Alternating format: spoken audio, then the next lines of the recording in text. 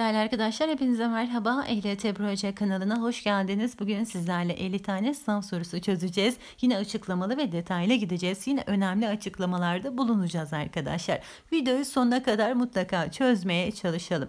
Bu arada e, yeni gelen arkadaşlarım ilk yoruma sabitlediğim soruları sınav tarihine kadar lütfen bol bol çözmeye çalışsın. Ne kadar çok soru çözersek Sınavda benzer birebir o kadar çok soru yakalarız diyorum. Ve videoyu da beğenmeyi unutmayalım. Olur mu arkadaşlar? Soruların devamı için sizlerin beğenileriniz bizler için çok çok önemli. Hem de bize şöyle küçük bir nebze de olsa destek olmuş olursunuz diyorum. Arkadaşlarımızı tebrik ediyorum ve hemen sorulara başlıyorum. Kaburga kemik kırıklarında yer alan hangi pozisyonda hastaneye sevk edilir? Yan yatış, yüzüstü yatış, oturuş veya yarı oturuş, sırt üstü yatış. Doğru cevabımız C şıkkı olacaktır. Yarı oturuş veya oturuş pozisyonu verilenler hangileriydi? Bakın kaburgalarında kırık olanlar, açık göğüs yaralanması olanlar, kol ve köprücük kemiğinde kırık olanlar değil mi arkadaşlar? E, yere oturur pozisyon bakın delice göğüs yaralanmalarında veriliyordu değil mi? Solunum yolu ile gerçekleşen zehirlenmelerde, solunum zorluğu çeken ve bilinci açık kişilerde, göğüs ağrılarında, kalp krizlerinde veriliyordu arkadaşlar. Geldik 2'ye.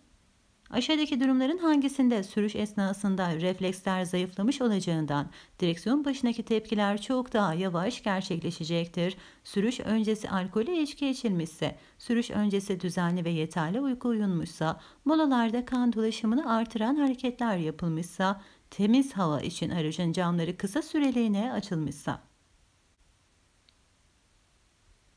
Doğru cevabımız A şıkkı olacaktır. Sürüş öncesi alkolle içki içilmesi. Alkolle içki, içki içen bir sürücüde reflekslerinde zayıflama görülüyordu değil mi? Direksiyon başındaki tepkiler çok daha yavaş gerçekleşiyordu. Merkezi sinir sisteminde uyuşturucu etki yaratıyordu. Birindeki frenleme ve karar verme yeteneğinin bozulmasına neden oluyordu arkadaşlar. Kanlarındaki alkol miktarı 0.50 promilin üzerinde olan hususi otomobil sürücülerinin karayolunda araç sürmesi de yasaktı. Geldik 3'e. Yanık vakalarında uygulanan ilk yardımda aşağıdakilerden hangisinin yapılması yanlıştır? Yanığa bağlı oluşan su dolu kabarcıkların patlatılması, kaza sedenin alevli yanması durumunda hava ile temasının kesilmesi, kimyasal madde yanıklarında yanan bölgenin bol su ile yıkanması, bilinci yerinde ise bol su verilmesi. Doğru cevabımız A şıkkı olacaktır. Şimdi yanığı biliyoruz arkadaşlar değil mi? Bir yerimiz yandığı zaman hemen böyle kabarcıklar oluşur. İçi su dolu kabarcıklar oluşur. İşte onların patlatılması yanlıştır. Hadi geldik dörde devam ediyoruz. Solunum durmasında dudaklar, parmak uçları ve burun ucunda görülen morarmaların sebebi aşağıdakilerden hangisidir? Su kaybı, oksijensizlik, beslenme yetersizliği, karbon monoksit eksikliği. Doğru cevabımız B şıkkı oksijensizlik olacaktır değil mi arkadaşlar? Bakın bir morarma gerçekleşiyor. Bir de nabız vardı. Onda da bizim anahtar kelimemiz parmak uçlarıydı ama şu şekilde soruluyordu. Kalp atımlarının atar damar duvarına yaptığı basıncın damar duvarında parmak uçlarıyla hissedilmesine biz nabız diyorduk arkadaşlar. Hani bu ikisini de karıştırmayın diye söylüyorum. Şimdi hazır e, solunum demişken bakın yetişkin bir kişinin bir dakika içinde nefes alma verme sayısına biz solunum sıklığı diyorduk değil mi? Sağlıklı yetişkin bir kişide dakikada solunum sayısı 12-20'dir. Çocuklarda 16-22, bebeklerde de 18-24 şeklindedir arkadaşlar. Bir de sınavlarda diyor ki egzoz gazı zehirlenmesi aşağıdakilerden hangisi yoluyla oluyor diyor. Biz ona ne diyoruz? Solunum yoluyla oluyor diyorduk değil mi? Peki hangi durum gerçekleşirse egzoz gazı daha fazla zarar verir diyordu sınav sorularında. Kapalı garaj içinde uzun süre egzoz gazına maruz kalındığında daha fazla zarar verir olan şıkkı işaretliyorduk. Hani böyle solunum dedik oksijensizlik dedik. Bunları da söylemiş olduk. Geldik 5'e. Verilen ifadede boş bırakılan yere aşağıdakilerden hangisi yazılmalıdır? Motorun soğutma sisteminde kullanılan nokta nokta nokta diyor. Donmayı önlemenin yanı sıra soğutma sıvısının geçtiği yerlerde korozyonu paslanmayı ve kireç oluşumunu da engelleyerek parçaların ömrünü artırmaktadır. Oraya ne yazıyoruz? Ne yazıyoruz arkadaşlar? Asit, antifriz, saf su, elektrolit.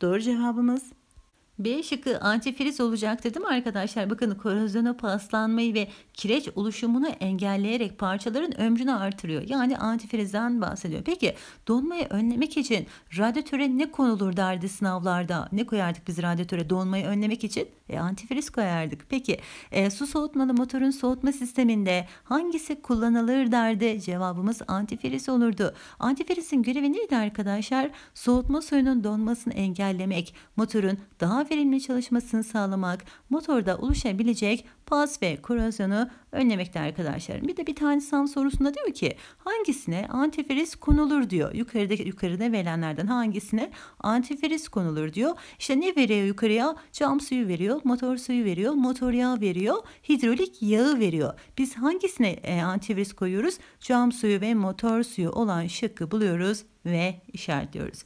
Geldik altıya. Aşağıdakilerden hangisi alternatörün görevidir? Mekanik enerjiyi ısı enerjisine çevirmek, elektrik enerjisini ısı enerjisine çevirmek, ısı enerjisini mekanik enerjiye çevirmek, mekanik enerjiyi elektrik enerjisine çevirmek. Doğru cevabımız değişik olacaktır. Mekanik enerjiyi e, elektrik enerjisine çevirmek alternatörün göreviydi. Peki arkadaşlar alternatörün elektrik üretip üretmediğini sürücüye bildiren bir gösterge vardı. Hangisiydi o? Şarj göstergesiydi. Peki e, bu söylediklerim sınav sorusu bu arada. E, vantilatör kayışı hangisine hareket iletir derdi sınavlarda? Alternatöre e, hareket iletiyor arkadaşlar. Vantilatör kayışı bunu unutmuyoruz. Alternatör aracın aküsünü şarj eden parçaydı unutmuyoruz. Peki akünün kutup başlarını biz araca ters bağladık. O zaman ne oluyordu? Bir şey arızalanıyordu. Yani alternatör diyotları arızalanıyordu arkadaşlar. Bu söylediklerim birer sınav sorusuydu. Geldik 7'ye. Kalp atımlarının atar damar duvarına yaptığı basıncın damar duvarında parmak uçlarıyla hissedilmesi ne denir? Hadi şöyle birazcık kopya vereyim. Nabız, solunum, vücut ısısı, kan şekeri. Doğru cevabımız A şıkkı nabız olacaktır değil mi? Parmak uçları bizim anahtar kelimemizdi. Peki normal nabız sayısına şöyle birazcık bahsedelim. Yetişkin bir kişide dakikada normal nabız sayısı 60 yüzdür. Çocuklarda 100, 120, bebeklerde de 100, 140 şeklindedir arkadaşlar. Hadi solunum neydi? Onu da bir, bir kez daha hatırlayalım. Solunum sayısı bakın yetişkinlerde 12-20, çocuklarda 16-22, bebeklerde 18-24 şeklinde olacaktı. Geldik 8'e. Bayılma durumunda aşağıdaki sistemlerden hangisinin faaliyeti durur? Dolaşım sistemi, sindirim sistemi, hareket sistemi, solunum sistemi. Doğru cevabımız C şıkkı hareket sistemi olacaktır. Kemikler, kaslar ve eklemlerden oluşan sistemdir arkadaşlar. Kırık ve ezilmeler hareket sistemini ilgilendiriyordu. Orada dolaşım sistemi var bizim için çok çok önemli. Neydi? Vücut dokularının oksijen, besin, hormon, bağışıklık ve benzeri elemanlarını taşıyarak yeniden geriye toplayan sistem hangisiydi? Dolaşım sistemiydi arkadaşlar. Dolaşım sisteminde 3 tane anahtar kelime veriyorum size. Kalp, kan damarları, e, ve kan bunlar dolaşım sistemini oluşturuyordu. Tekrar söylüyorum kalp, kan damarları, kan bunlar dolaşım sistemini oluşturuyordu. Merkezde kalpti. Sindirim sistemi var. Tanımı yine sınav sorusu. İnsan vücudunda ağız, yemek borusu, mide, ince ve kalın bağırsakların yer aldığı sistem sindirim sistemiydi. Merkezi mideydi arkadaşlar. Solunum sistemi yine çok çok önemli. Vücuda gerekli olan gaz alışverişi görevini yaparak hücre ve dokuların oksijenlenmesini sağlardı değil mi? Oksijen sizde en dayanıksız organ beyinde en fazla 5 dakika dayanabiliyordu arkadaşlarım. Bunu unutmuyoruz. Ee, geldik diğerine. İlk yardımcının insan vücudu yapısı ve işleyişi konusunda bazı temel kavramları bilmesi, yapacağı müdahalelerde bilinçli olmasını kolaylaştırır. Buna göre kalp, kan damarları ve kan vücudumuzdaki hangi sistemi oluşturan yapılardandır? Dolaşım sistemini, hareket sistemini, sindirim sistemini, solunum sistemini. Doğru cevabımız. A olacaktır. Gördünüz mü arkadaşlar anahtar kelimeleri kalp, kan damarları, kan biz bunu gördük. Dolaşım sistemini işaretledik. Neydi merkezi? Kalpte arkadaşlar. Tüm vücutta faaliyet gösterirdi dolaşım e, sistemi. Geldik ona. Gelmedik arkadaşlar. Sistemlerin merkezlerini size göstermek istemiştim ama bir an unuttum. Şimdi dolaşım sisteminin merkezi kalpti çünkü merkezlerini sınavlarda sorabiliyorlardı. Solunum sistemi akciğer, sinir sistemi beyin, boşaltım sistemi böbrekler şeklindeydi. Sindirim sistemi de mide şeklindeydi. Oradaki mide yanlış yazılmış. Tekrar söylüyorum yumuşak G olmayacak orada. Mide şeklindeydi arkadaşlar. Yani sistemlerin merkezlerinde öğrenmek zorundayız. Bu, bu video bittikten sonra sizden bir ricam var. Hemen aşağıda ilk yoruma soru linki bırakıyorum. Neredeyse her sınavda çıkan soruların hemen altında arkadaşlar. Birinci kısım ilk yardım insan vücudu. İkinci kısım ilk yardım insan vücudu diye iki tane link göreceksiniz orada. Lütfen e, oradaki iki linki mutlaka çözmeye çalışalım. Bu video bittikten sonra insan vücudu ile alakalı tüm soruları çözmüş olursunuz sınavdan önce. Hem de tek tek açıkladım. Geldik ona kanamanın olduğu damar parmakla kemik arasına sıkıştırılarak kanama durdurulabilir. Bu yöntemin uygulanması aşağıdaki durumların hangisine sakıncalıdır? Toplar damar kanamaları, bacak bölgesi kanamaları, çökme kırık ile birlikte olan kanamalar, koyu renkli ve yayılarak akan kanamalar. Doğru cevabımız C şıkkı olacaktır. Arkadaşlar kanamanın olduğu damar diyor değil mi? Parmakla kemik arasında sıkıştırılarak kanama durdurulabilir. Ama biz e, hangisine sakıncalı olduğunu soruyor. Eğer ki bir kırıkta çökme varsa ve bunun ile birlikte bir kanama da varsa işte biz bu uygulamayı yapamıyoruz arkadaşlar. Bu şekilde kanama durdurulmaz değil mi? Çünkü kırıkta bir çökme çökme var. Diğerlerini yapabiliriz sorun yok. Geldik 11'e. Aşağıdakilerden hangisinin trafikteki araçlarda bulunması zorunludur? Kasko poliçesi, yağ değişim kartı, araç tescil belgesi, periyodik bakım kartı. Doğru cevabımız C şıkkı olacaktır. Araç tescil belgesi. Sorularımıza devam ediyoruz. Videoyu yarıda kesmek yok arkadaşlar. Dokular üzerinde çekme etkisiyle meydana gelen yaralara ne ad verilir? Ezikli yaralar, delici yaralar, parçalı yaralar, kesik yaralar açıklayacağız. Doğru cevabımız C şıkkı parçalı yaralar bakın çekme etkisiyle diyor değil mi? Çekme etkisiyle parçalı yaralar. Peki şimdi e, şöyle tek tek anlatalım. Kesikli yaralardan başlayalım. Bakın adı üzerinde bıçak, çakı, cam ve benzeri kesici aletlerle oluşuyordu. Basit yaralardı. Genelde dış kanama gözleniyordu arkadaşlar. E orada ne var? Ezikli yaralar var. Bakın adı üzerinde ezikli yani şiddetli çarpma ile oluşurdu. Taş, yumruk, sopa gibi etkenlerin e, şiddetiyle oluşurdu arkadaşlar. Yani bu çarpmayla ile oluşurdu. En çok görülen yaralanmaydı. Yara kenarları eziktir. Ezikli yarada doku zedelenmesi hassasiyeti vardır ve fazla kanama olmaz. Parçalı yaralar çekme etkisiyle oluşuyordu. Tüm dokular zarar görüyordu. Delici yaralar bakın adı üzerinde sivri aletlerle oluşurdu. Delici olduğu için içerideki doku ve e, organlar zarar görebiliyordu. Tetanos tehlikesi yüksekti. 13'teyiz. Araçların emniyette seyrine devam edebilmesi için vites küçültmeye gerektiren uzunluk veya açıdaki yol eğimine ne denir? Gabari, viraj, platform, tehlikeli eğim. Doğru cevabımız D şıkkı tehlikeli eğim olacaktır arkadaşlar. Bakın araçların emniyetle seyrine devam edebilmesi için vites küçültmeyi gerektiren uzunluk ve açıdaki yol eğimine tehlikeli eğim diyoruz. Bir de bizim için önemli olan gabari var sınav sorusuydu. Araçların yüklü veya yüksüz olarak karayolunda güvenli seyirlerini temin amacı ile uzunluk, genişlik ve yüksekliklerini belirleyen ölçüleri biz ne diyorduk? Gabari diyorduk. Gabarinin tanımı da sınav sorusuydu. Levha olarak da sorabiliyorlar zaten. Geldik 14'e. Tatlı dil yılanı deliğinden çıkarır atasözü ile trafik adabında hangi yaklaşımı destekler? Öfke, ihtiras, antrika, konuşma usulü. Doğru cevabımız hangi yaklaşımı destekliyor? D şıkkını yani konuşma usulünü destekliyor arkadaşlarım. 15 Şekil 2 karayolunda bir numaralı araç sürücüsünün aşağıdakilerden hangisini yapması yanlıştır diyor. Görsele dikkate bakalım. Oradaki bir nolu araca da bakalım. Yanlış olanı bulmaya çalışacağız. Bulunduğu şeritte seyretmesi, geçme sırasında hızını artırması, yol müsait ise önündeki araca sollayarak geçmesi, yol müsait değilse önündeki aracın sağından geçmesi. Doğru cevabımız D şıkkı yanlıştır. Şimdi şıklardan gidelim. Evet bulunduğu şeritte seyretmesi e, tabii ki en doğal en doğru olan şeydir değil mi? Geçme sırasında hızını artırması yani yol müsait ise öndeki aracı sollayarak geçmesi tabii ki bu da doğru. Ama ne diyor bakın yol müsait değilse yol hem müsait değil hem de sağından geçiyor. Araçlar sağlanmaz solanır yol müsait olmalıdır. Geldik diğerine.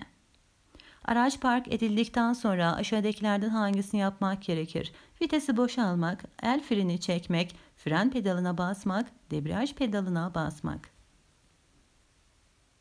Doğru cevabımız B şıkkı olacaktır. Arabayı aldık, gezdik, dolaştık, geldik evin önüne aracımızı park ettik. E ne yapacağız arkadaşlar? Vitesi boşa mı alacağız? Fren pedalına mı basacağız? Debriyaj pedalına. Yani el freni çekeceğiz arkadaşlar. Aracımızı park ediyoruz değil mi? Aracı sabitleyeceğiz. Aracımızı durduracağız arkadaşlar. Tamamsak diğerindeyiz. Kazazedeye sözlü uyaranla ya da hafifçe omzuna dokunarak iyi misiniz diye sorularak nokta nokta değerlendirilmesi yapılır. Yukarıdaki açıklamada boş bırakılan yere hangisi yazılmalıdır? Bakalım oraya ne yazacağız? Dolaşım, bilinç durumu, solunum, hava yolu açıklığı. Doğru cevabımız B şıkkı olacaktır. Bakın bir kazazede var arkadaşlar. Onu sözlü uyaranla veya hafifçe şöyle omzuna dokunarak ne, ne diyor? İyi misiniz diyor. Yani ne yapmaya çalışıyoruz biz? Bilinç durumunu kontrol etmeye çalışıyoruz değil mi? Amacımız budur arkadaşlar.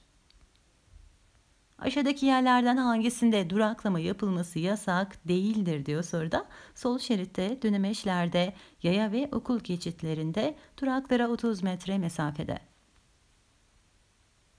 Doğru cevabımız değişik olacaktır arkadaşlar. Şimdi yerleşim yeri içinde kavşakları ve bağlantı yollarına 5 metre mesafede duraklamak yasaktı arkadaşlar. Yine belirlenmiş yangın musluklarına her iki yönden 5 metre mesafe içinde duraklamak yasaktı. Trafik işaretleriyle yasaklanmış olan yerlerde duraklamak yasaktı. Bunları unutmuyoruz. Geldik 19. sorumuza. Videoyu beğenmeyi unutmayalım lütfen. Tekrar hatırlatıyorum ama aslında söylemeyi pek sevmiyorum. Ama e, bir nebzede de lazım arkadaşlar sizlerin beğenileriniz. Neyse 19'dayız. Verilenlerden hangilerinin trafikte öfke duygusuna kapılan sürücülerde görülme olasılığı diğer sürücülere göre daha fazladır? Dikkatin dağılması, kural ihlallerinin artması, sabırsızlık ve tahammülsüzlüğün azalması. 1, 1 ve 2, 2 ve 3, 1, 2 ve 3.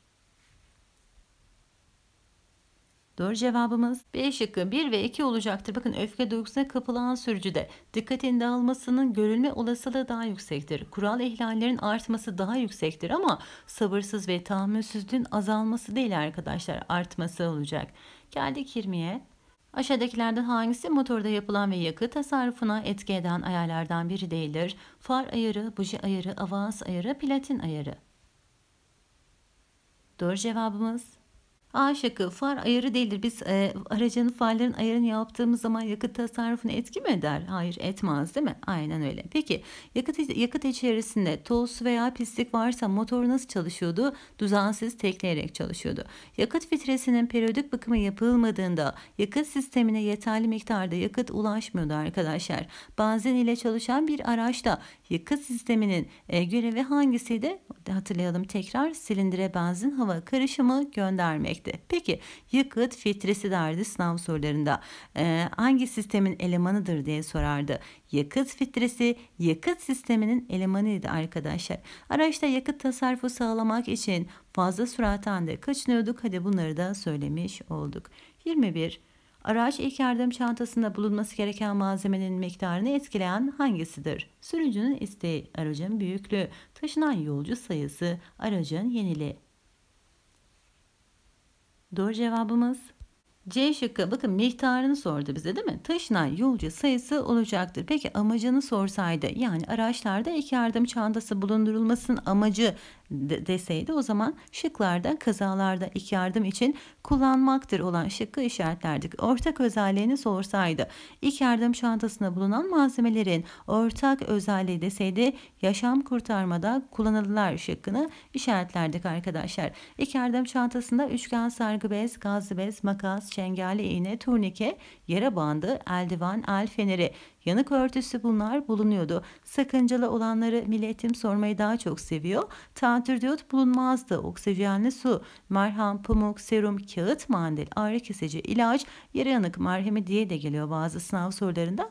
Bunlar bulundurulmuyordu arkadaşlar. İlk yardım çantası bulundurmada bakın traktör, motosiklet, motorlu bisiklet, iş makinesi hariç tüm motorlu taşıtlarda, şehirler arası yolcu taşıyan otobüslerde, otomobillerde bulundurulması sorumluydu. Yani ilk yardım e, çantası bizim için çok çok önemli. Birçok da sınav sorusu var. Aşağıdakilerden hangisi akünün görevlerinden biridir?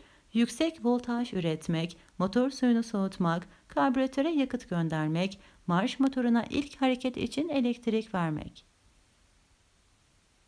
Doğru cevabımız Değişik olacaktır. Marş motoruna ilk hareket için elektrik vermek akünün görevlerindendi. Peki motor çalışmazken akünün görevi neydi? Bakın motor çalışmazken akünün görevi aydınlatma sistemi ve özel alıcıları çalıştırmakta arkadaşlar. Akünün kutup başları araca ters bağlanırsa alternatör diyotları arızalanıyordu. Ee, daha sonra akünün iki kutup başına aynı anda madeni bir parça dokundurulursa hangisi meydana geliyordu? Akü kısa devre oluyordu ve patlıyordu. Akünün kutup başları gevşer veya oksitlenirse marş motoru yavaş dönüyordu arkadaşlar. Bunları unutmayalım olur mu? Aracı çok uzun süre kullanmadan beklettik diyelim arkadaşlar. Hangileri meydana geliyordu?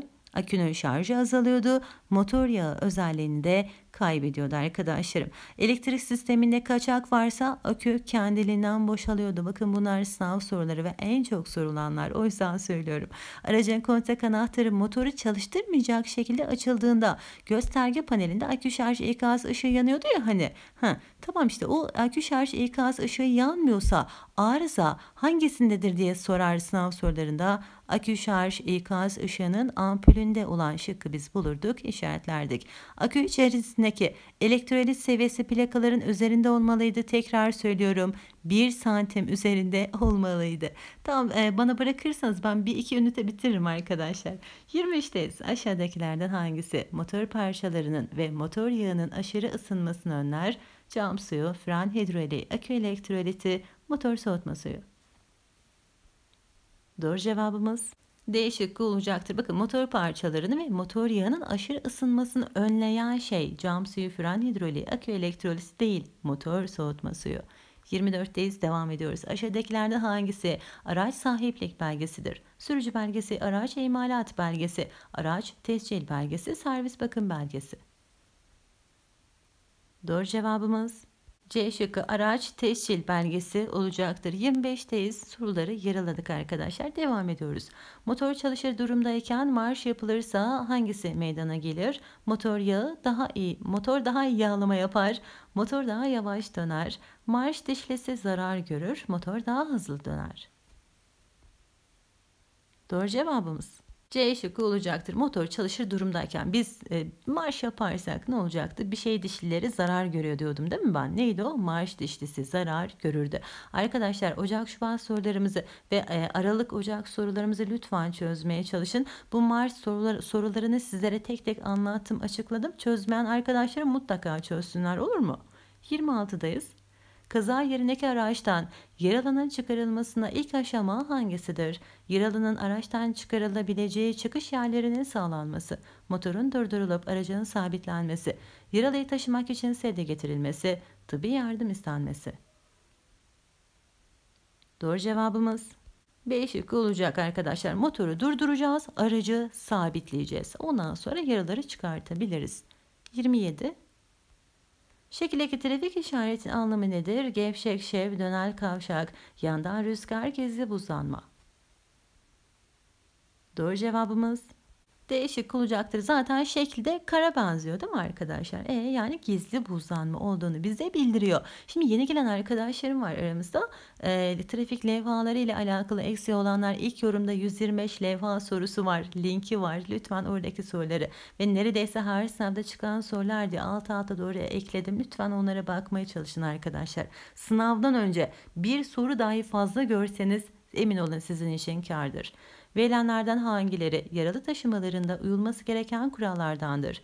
Yaralaya yakın mesafede çalışılması, daha uzun ve kuvvetli kas gruplarının kullanılması, ilk yardımcının kendi sağlığını riske atması şıklar yalnız 1, 1 ve 2, 2 ve 3, 1, 2 ve 3. Doğru cevabımız B şıkkı 1 ve 2 doğru olacaktır arkadaşlar. Hadi bakalım 29'dayız. Devam ediyoruz. Resimdeki taşıtın bulunduğu karayoluna ne ad verilir? Şıklar banket, anı yol, tali yol, bölünmüş yol. Doğru cevabımız C şıkkı tali yol olacaktır. Bakın aracın yanında yol ver levhası var. Bir yerin tali yol olduğunu iki tane levhadan anlıyorduk. Ya yol ver levhası olurdu ya da dur levhası olurdu arkadaşlar. Tamam burada hemfikiriz. Şimdi şıklarda banket var. Tanımı sınav sorusuydu.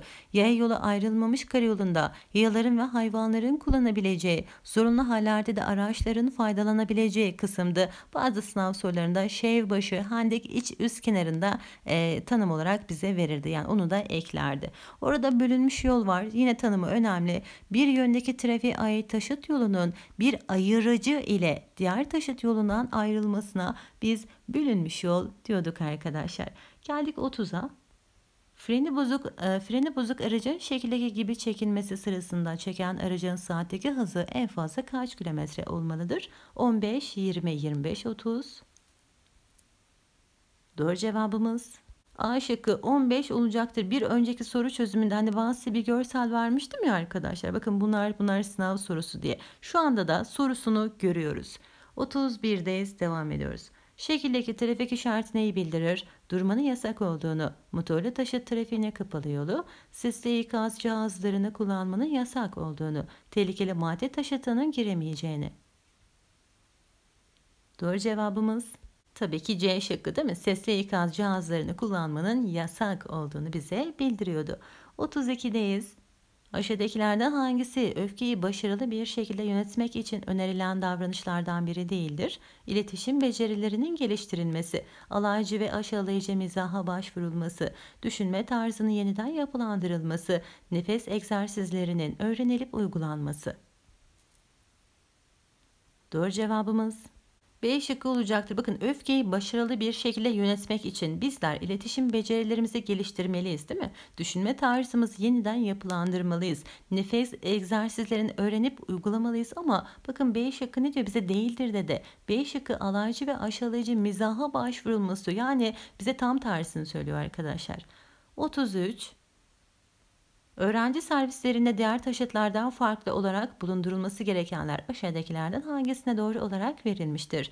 Dur lambası ve sis, sis ışıkları, okul taşıtı yazısı ve dur lambası, park lambası ve yangın söndürücü, okul taşıtı yazısı ve ilk yardım çantası. Doğru cevabımız. B şıkkı olacakmış, olacaktır arkadaşlar. Öğrenci servislerinde diğer taşıtlardan farklı olarak okul taşıtı yazısı ve dur lambası bulundurulması gereklidir. 34 devam ediyoruz. Aksine bir işaret bulunmadıkça otoyolda minibüs ve otobüsler için azami hız saate kaç kilometredir? 80, 90, 100, 110.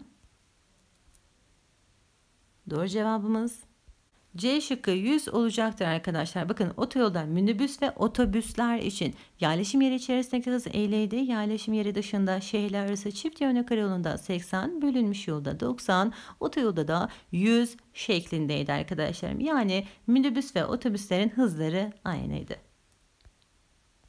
Otomobillerin trafiğe çıkarılabilmesi için aşağıdakilerden hangisinin yaptırılması zorunludur? Zorunlu mali sorumluluk sigortasının, koltuk ferdi kaza sigortasının, kasko sigortasının, aracın bakımının. Doğru cevabımız. A şıkkı olacaktır. Zorunlu olanı soruyor. Zorunlu mali sorumluluk sigortasının. Hadi bakalım 36 arkadaşlar. Taşıt yolu üzerine çizilen şekildeki çizgilerin anlamı nedir? Yaya geçidi, sağ tehlikeli viraj, taralı alana girilmez, taralı, taralı alan içine park edilebilir. Doğru cevabımız C şıkkı olacaktır. Bakın karalanmış, taralanmış diyorduk değil mi? Girilmez diyorduk yani taralı alana girilmez.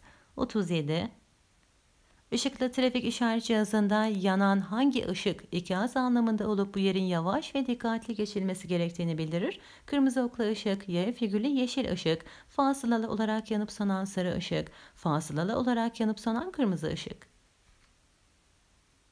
Doğru cevabımız C şıkkı olacaktır. Yavaş dikkatli, yavaş dikkatli dediğine göre e, biz o zaman ne arayacağız? Fasılalı olarak yanıp sönen sarı ışığı arayacağız arkadaşlar. Hareketin motordan tekerleklere kadar iletilmesini sağlayan güç aktarma organlarının çalışma sırası aşağıdakilerden hangisine doğru olarak verilmiştir? Şaft kavrama vites kutusu diferansiyel aks, aks vites kutusu kavrama diferansiyel şaft, vites kutusu kavrama aks şaft diferansiyel, kavrama vites kutusu şaft diferansiyel aks. Doğru cevabımız değişik olacaktır. Hocam bu bir yerden tanıdık geliyor diyenleriniz var değil mi? Aynen öyle. İki video öncesinde ilk birinci soruda güç aktarma organları sınavlarda nasıl gelir diye alt alta görseller vermiştim arkadaşlar. İlk birinci soruda hatırladınız mı bunu? İşte şu anda sorusunu görüyorsunuz. Kavrama, vites kutusu, shaft, diferansiyel, aks şeklindedir. Ağzımdan çıkan her kelime emin olun sınav sorusu arkadaşlar. Aşağıdakilerden hangisi duraklanan veya park edilen yerden çıkan araç sürücüsünün uyulması gereken kurallardan biri değildir? Işıkla veya kolla çıkış işareti vermesi, aracını ve aracının etrafını kontrol etmesi, yoldan geçen araç sürücülerini ikaz edip yavaşlatması, sakıncalı bir durum olmadığında manevraya başlaması. Doğru cevabımız C şıkkı olacaktır. Bakın duraklanan veya park edilen yerden çıkan araç sürücüsünün uyması gereken kurallardan biri değildir arkadaşlar. Yani yoldan geçen araç sürücülerini ikaz edip yavaşlatmıyoruz. Öyle şeyler yapmıyoruz. Devam ediyoruz. 40'tayız. Son 10 tane soru kaldı. Son sorunun cevabı yine sizde. Trafik kazasına karışanlar aşağıdakilerden hangisini yapmakla yükümlüdürler? İlk yardım tedbirlerini almakla, yaralıların ilaçlı tedavisini yapmakla, kaza ile ilgili iz ve delilleri yok etmekle, kaza yapan araçların yerlerini değiştirmekle. Doğru cevabımız A şıkkı olacaktır. İlk yardım tedbirlerini almakla yükümlüdürler arkadaşlar. İlaçla tedavi yapılmıyor. İz ve deliller yok edilmiyor. Araçların yerleri de değiştirilmiyor. 41. Şekildeki trafik işareti hangisine yaklaşıldığını bildirir. Okul geçidine, yürüyüş yoluna, gençlik kampına, at veya üst geçitlere. Doğru cevabımız A şıkkı olacaktır. Görselden de anladığımız gibi okul geçidine yaklaşıldığını bildiriyor arkadaşlar. Sollama yapılmaz, hız azaltılır. 42. Aşağıdakilerden hangisi trafikte sürücülerden beklenen olumlu davranış özelliklerindendir? Kendi kendine kurallar koymak, bencilce davranışlarda bulunmak, paylaşmayı bilmek ve saygılı olmak, saygıyı öncelikle başkalarından beklemek. Doğru cevabımız C şık olacaktır. Bizden olumlu olanı istiyor. Yani bizler paylaşmayı bileceğiz ve saygılı olacağız arkadaşlar. Bizlerden beklenen budur. 43. Marşa basıldığında marş motoru yavaş dönüyorsa sebebi hangisi olabilir? Diferansiyel arızalıdır, buji kabloları gevşektir, yağ pompası arızalıdır, akünün kutup başları gevşemiş veya oksitlenmiştir. Doğru cevabımız değişik olacaktır değil mi? Bakın marş motoru yavaş dönüyorsa akünün kutup başları gevşemiş veya oksitlenmişti. Dediğim gibi marş sorularını tek tek size anlattım. Lütfen Ocak, Şubat sorularına bakmaya çalışalım arkadaşlar. 44 tez devam ediyoruz. Ha bu yarınki soru çözümü de anlatmayacağım anlamına gelmiyor arkadaşlar. Tabii ki anlatacağım. Şekildeki trafik işareti neyi bildirir? Geçme yasağı sonunu, öndeki taşıta geçmenin yasak olduğunu, bütün yasaklama ve kısıtlamaların sona erdiğini, yük taşıtlarının öndeki taşıtları geçmelerin yasak olduğunu. Doğru cevabımız B şıkkı olacaktır. Öndeki taşıta geçmenin yasak olduğunu bildirir. Levhamız yukarıdan aşağı düz bir çizgiyle çekilseydi o zaman ne olacaktı? Öndeki taşıta geçme yasağı sonu olacaktı levhamız. 45'teyiz. Motor çalışmazken akünün görevi hangisidir? Aydınlatma sistemi ve özel alıcıları çalıştırmak, diferansiyeli çalıştırmak, yağlamayı sağlamak, vites kutusunu çalıştırmak. Doğru cevabımız aşık olacaktır. Biraz önceki yaptığım açıklama ne demiştik? Motor çalışmazken akünün görevi aydınlatma sistemi ve özel alıcıları çalıştırmaktır arkadaşlarım. Geldik 46'ya devam ediyoruz. Şekildeki trafik işareti neyi bildirir? Traktör park alanı traktör çıkabileceğini, traktörün giremeyeceğini, sadece traktörün girebileceğini. Doğru cevabımız. C şıkkı traktörün giremeyeceğini bize bildirecektir. 47. Yağmurlu havada sileceklerin camı yeteri kadar temiz silememesinin sebebi hangisidir? Havanın serin olması, silecek lastiklerin eskimesi, cam suyu seviyesinin azalması, silecek motorunun yavaş çalışması. Doğru cevabımız B şıkkı olacaktır. Silecek lastikleri eskimiştir arkadaşlar. 48. Aksine bir durum yoksa şekildeki gibi ışıklı trafik işaret cihazında yeşil ışığın yandığını gören sürücü ne yapmalıdır? Durmadan dikkatli geçmeli. İlk geçiş hakkını yayalara vermeli. Durup yolu kontrol ettikten sonra geçmeli. Sağdan gelen araçların geçmesini beklemeli. Doğru cevabımız A şıkkı olacaktır. Yeşil ışık yanıyor arkadaşlar. Yani biz durmadan dikkatli geçeceğiz. Geldik 49'a araç bakımını önemseyen sürücü aşağıdakilerden hangisine olumlu katkı sağlar? Yakıt sarfiyatının artmasına, çevre kirliliğinin azalmasına, gürültü kirliliğinin oluşmasına, trafik yoğunluğunun artmasına. Doğru cevabımız B şıkkı olacaktır. Bir kişi düşünüyoruz araç bakımını önemsiyor arkadaşlar. E neye katkı sağlayacak? Çevre kirliliğinin azalmasına katkı sağlayacak. Son sorumuzdayız. Bu sorunun cevabını sizlerden bekliyorum. Son değişikliklerle birlikte denetim ve kontroller sırasında araç muayene süresini sahip değiştirme hali hariç geçirdikleri tespit edilenlere aşağıdakilerden hangisi uygulanmaz? Para cezası verilir. Araçları trafikten man edilir. Muayene yaptırmaları için ek 33 belgesi düzenlenerek ek süre verilir. 3 aydan az olmamak şartıyla hafif hapiste cezalandırılır. Bu sorunun cevabını sizlerden bekliyorum. Video işinize yaradıysa beğenip paylaşmayı unutmayın. Yeni sorular yayınlayacağız. Abone olup da bildirimleri mutlaka açalım arkadaşlar. Ee, bu yayınladığımız soruları, soru videolarını sınava girecek olan arkadaşlarınızla da paylaşmayı unutmayın. Bilgi paylaştıkça artacaktır diyorum. İzlediğiniz için teşekkür ediyorum.